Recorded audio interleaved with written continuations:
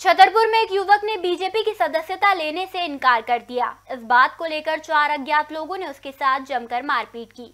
अज्ञात लोग पीड़ित ड्राइवर पर भाजपा की सदस्यता लेने का दबाव बना रहे थे। छतरपुर ज़िले में एक युवक ने जब बीजेपी सदस्य बनने से मना कर दिया तो चार लोगों ने उसके साथ जमकर मारपीट की। पीड़ित मानवेंद्र सिंह यादव, एनएचआई में ड्राइवर है। देवगांव टोल प्लाजा पर युवक के साथ हुई मारपीट के बाद पीड़ित दहशत में है। वहीं अब चार लोगों के खिलाफ भारतीय न्याय संहिता की विभिन्न धाराओं में मामला दर्ज करके जाँच शुरू कर दी गई है। हमारे साथ ये हो गई हम देवगांव टोल प्लाजा पे आए थे साहब लोगों के साथ एन में मैं ड्राइवर हूँ। तो यहाँ पे मैं दुकान पे गया वहाँ कुछ अज्ञात लोग थे।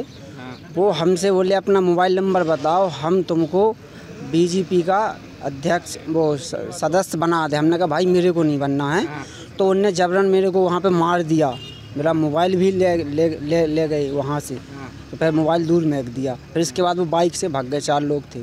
बमीटा थाने में एक एफआईआर हुई है। एक व्यक्ति ने शिकायत की है कि चार लोग थे अज्ञात लोग थे जिन्होंने ये बताया कि जिन्होंने सदस्यता के नाम पर उसके साथ मारपीट की और इस आवेदन के आधार पर बमीटा थाने में एफआईआर दर्ज की गई है। अग्रिम विवेचना की जा रही है।